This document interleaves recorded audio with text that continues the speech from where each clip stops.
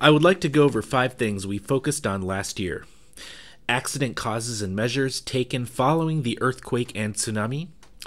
Uh, number two, circulating water cooling. Number three, mitigation of radioactive emissions.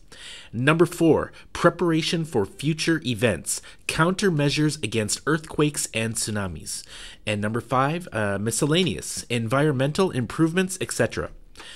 I'd like to start by going over the impact due to the Tohoku Chiho Pacific Ocean earthquake. As shown in the lower right figures, the Tohoku Chiho Pacific Ocean earthquake's epicenter extended over quite a large area 200 kilometers from east to west and 500 kilometers from north to south. That is to say, a seismic chain reaction occurred across the following regions off the Sanriku coastline, off the coast of Miyagi Prefecture, close to the Japan Trench in the southern Sanriku offshore, off the coast of Fukushima Prefecture, and off the coast of Ibaraki Prefecture. The earthquake had a magnitude of 9.0, which was the fourth biggest observed earthquake in the history of the world. This table shows the seismic impact due to the earthquake. In the yellow boxes, the actual impact exceeded the design basis ground motion. However, in most parts, the impact was below the design basis ground motion. When the earthquake struck Fukushima Daiichi, all control rods were inserted into the reactor core, leading to an automatic shutdown that stopped the critical reaction. After that, although offsite power was lost, electricity was supplied via the emergency diesel generators.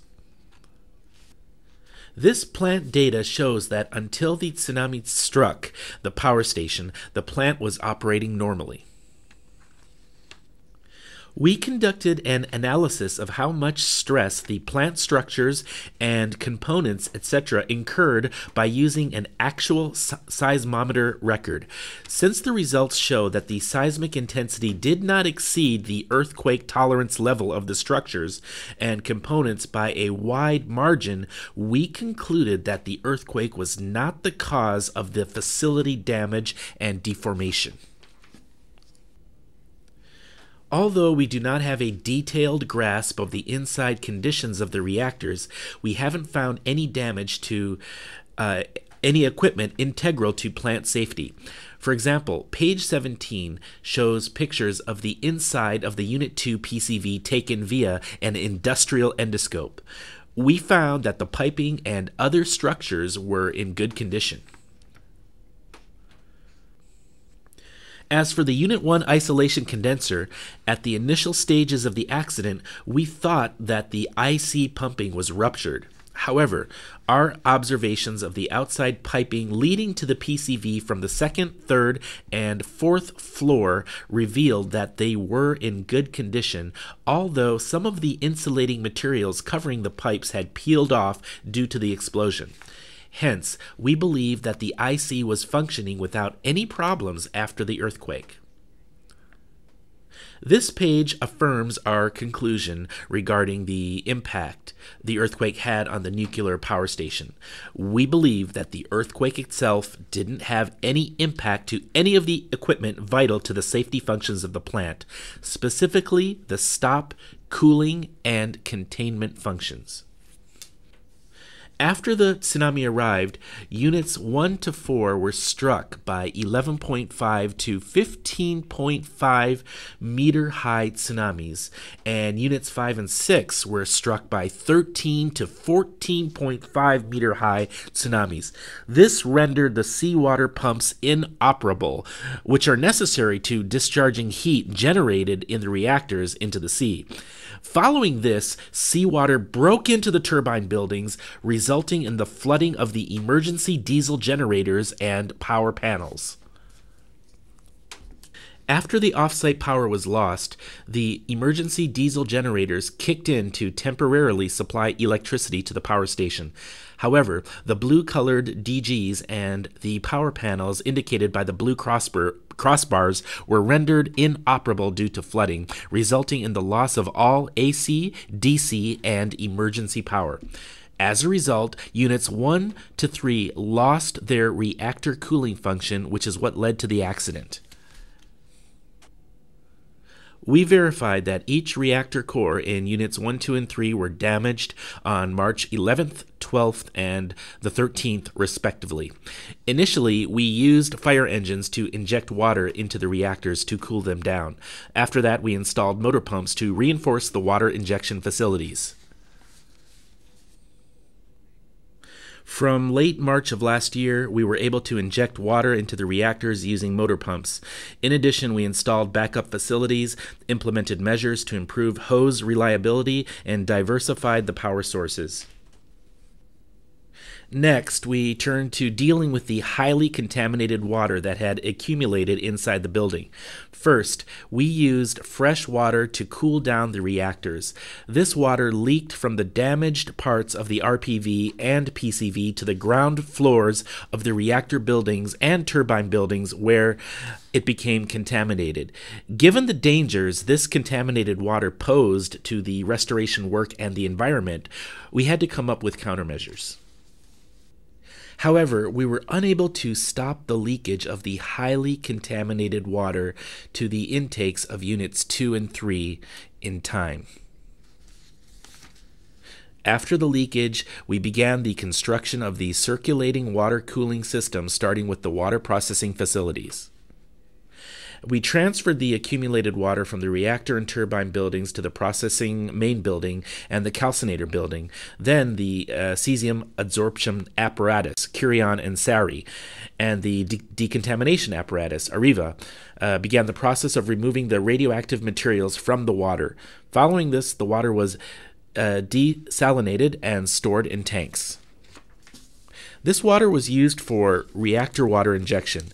This enables us to kill two birds with one stone because we can mitigate contaminated water leakage risks while also being able to create fresh water for reactor water injection.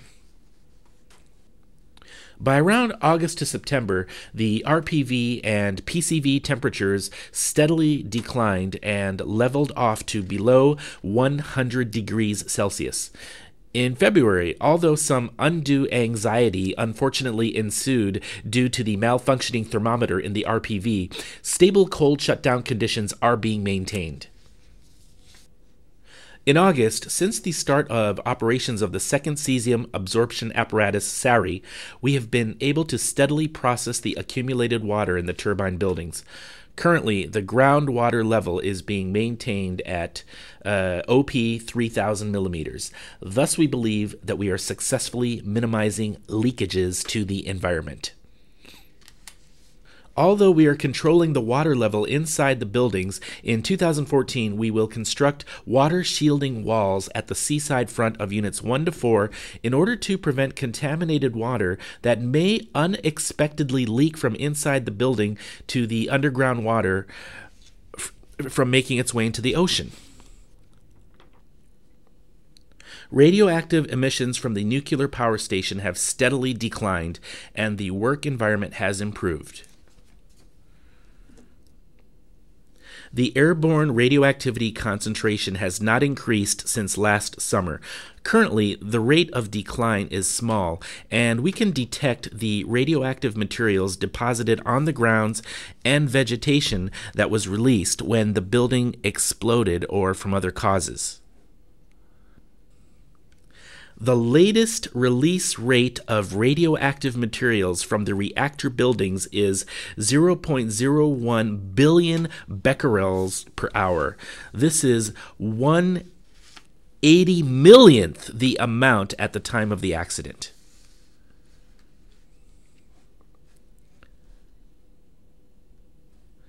At the site boundaries, the airborne radioactivity density is below the legal limit. In fact, the density has been consistently far below the 10% legal limit, which requires the wearing of full face masks. Therefore, although we had to wear full face masks and Tyveks when moving between the main anti earthquake building and J Village, such requirements have since been lightened. Radioactive particle density in the seawater has steadily decreased. On March 5, 2012, the radiation dose at the main anti earthquake building dropped from 380 microsieverts per hour detected on March 15, 2011, to 1.2 microsieverts per hour. Due to such environmental enhancements, female workers have now joined their male counterparts to engage in the radiation recovery work.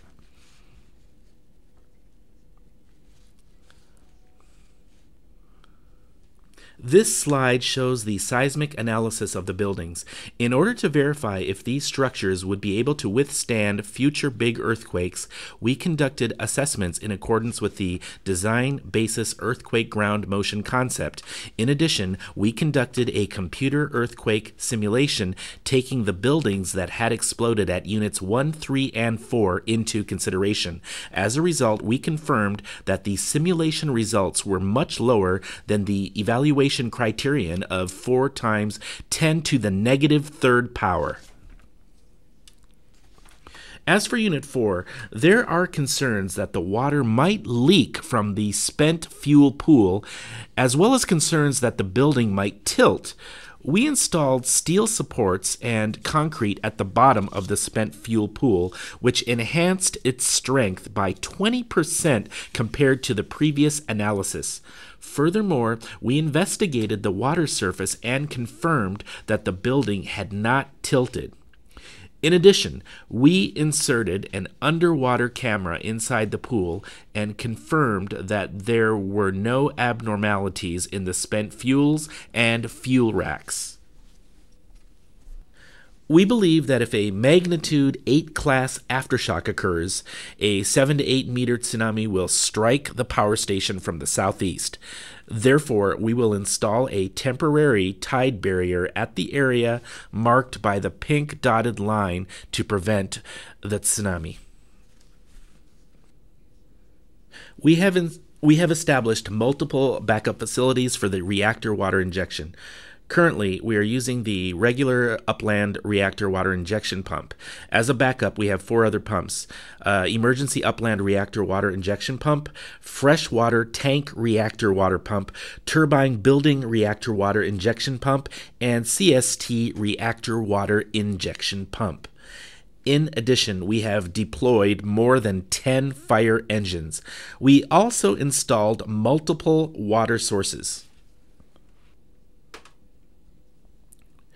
We are able to receive off-site power from Okuma lines 2, 3, and 4, uh, Yonomori lines 1 and 2, and a line from Tohoku Electric Company.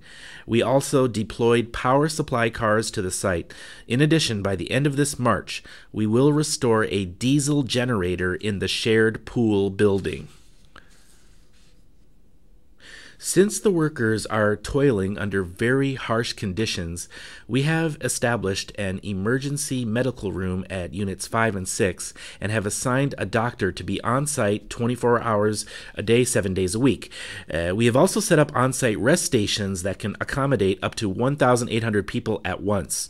In addition, the radioactive rubble is being removed to improve the safety of the work environment.